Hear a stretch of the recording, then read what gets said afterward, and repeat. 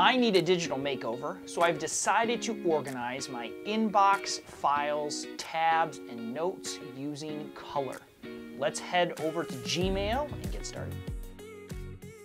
Hi, my name is John Sowash. I help teachers and students use Google products in the classroom. This may be the worst idea I've ever had, but let's see what happens. We're gonna head over to Gmail, and I know that I can use labels to organize my messages, but I wanna make them pop out of my inbox. You can recolor your labels simply by clicking on the little snowman on the edge of your label and going to label colors. There's a lot to pick from and then you can also select uh, or create your own custom label if you want to.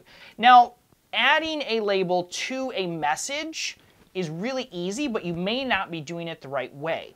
You can simply grab your email and drop it on to a message and you can see how bright those colors are, and they really pop out of your inbox and make them a lot easier to um, view. Now, if labels aren't doing it for you, there's a second option that you can consider. Now, you're probably familiar with the star icon, which is always there. But there is something called superstars that allows you to organize your inbox using color as well. To enable superstars, you need to go into the settings for your Gmail account. So click the uh, little fidget spinner, the gear up in the top right corner, and go down to See All Settings. In the General tab, we're going to scroll down about halfway, and this is where you're going to see stars. Now initially you just have the standard yellow star available, but you can go ahead and customize this simply by dragging the stars that you're interested in using up and down um, as you see. So I'm going to go ahead and save this and you'll see how this works. If you click once on the star icon, it goes to the first one. Just continue clicking and it scrolls through the available stars um, that you have. So you can see all the different ones. So that's how I'm organizing my inbox using color. Let's head over to the Chrome browser and talk about tabs. If you are a tabaholic, you're gonna love this next tip. We're gonna organize our Chrome tabs by creating color groups. Check this out, right click on a tab and you'll see this option to say add tab to group give it a name. I'm call this teaching. Pick your favorite color. I'm going to pick red. And now you have a tab group. Now I want to add these other tabs to that group as well. So I'm going to right click on Google Calendar and say add tab to group. Select teaching. Same thing with PowerSchool. Right click, add tab to group and uh, we'll select teaching as well. Now what's the benefit of this? Well you can collapse those tabs down. So if I click on teaching it slides them together giving me more space for other tabs. Now I'm going to switch to another window. I have this all set up and I can show you some examples. So here are a selection of tabs that a teacher might have open. So for example, I've got my Google Classrooms open and I have a tab for my grade 12 American Literature class with all of the different websites that I plan on using during class. And by clicking on those individual tabs, I can expand and contract them. You can even move them around as a group. So if I just grab the 12th grade class and tear it down, um, now I've got a new window with just those tabs on it. Let's head over to Google Drive next. Drive is a challenge to organize, but color can definitely help. Now the key to organizing Google Drive is to create folders, but folders are all gray by default, which is boring and difficult to navigate. We're going to add some color. You can change the color of your folder by right-clicking on a folder and looking for the change color option. Now you can't create your own color, but you've got quite a few options to pick from. Now there's another interesting little trick that I learned. If you have a series of folders, um, you can change the color all at once. So I have these folders here for archives, so files from 2015, 16, 17.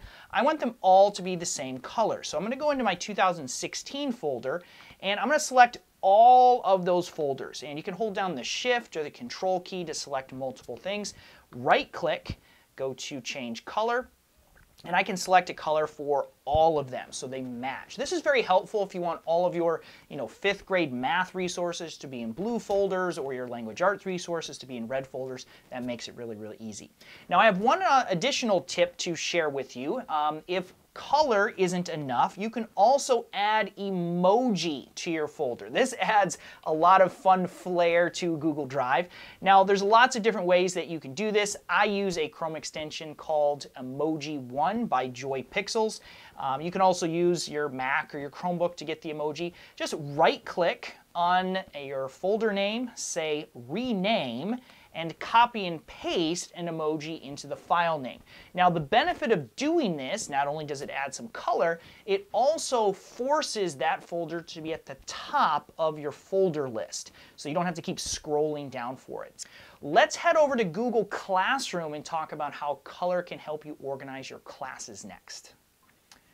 We've arrived in Google Classroom and there's some new ways that you can use color to manage your classes. I'm going to go ahead and open up my ninth grade English class and I'm going to click on the Customize button on the class banner.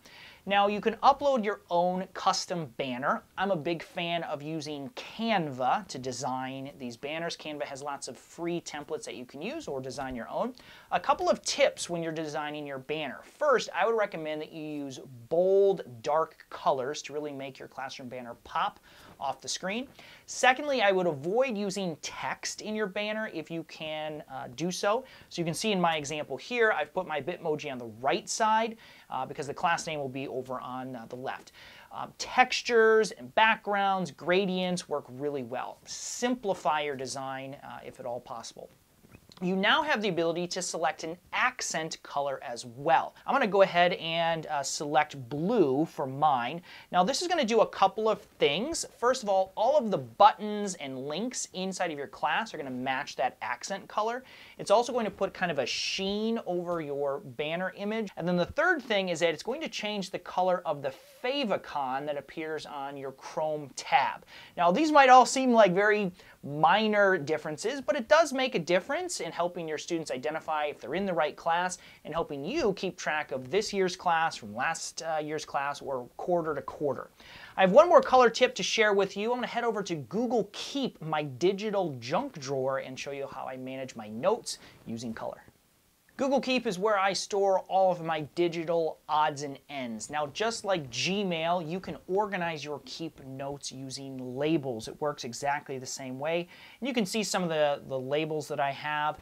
In addition to labels, you can also assign a color to your various notes. So I'm going to go ahead in my conference notes, and you can see that they're all in this red color. That's a color that I've assigned uh, to this label. You can change your colors. There's lots of different color options. You can pick your own color. You can even select some of these uh, fun uh, background images, whichever matches uh, your personality. Now, in addition to colors, there's a really cool Chrome extension that allows you to sort your notes by color. It's called Category Tabs for Google Keep. And when you enable it, it adds a really useful banner at the top of Google Keep that allows you to customize your um, notes by color. So if I click on Ideas, it shows me all of my green notes. Now I went in and changed the label for that color from green to ideas. If you go into the settings for this extension, you can give each color a name, which makes it even better than the label feature. There are so many interesting ways you can organize your digital information. This is how I organize mine using color. Leave me a comment and let me know how you are organizing your emails and folders uh, and Google Keep Notes. I'd love to know what strategy is working well for you. If you're interested in more tips for organizing your digital life, check out this playlist up here with even more advanced ways of organizing your inbox, your Drive files, and even Google Photos.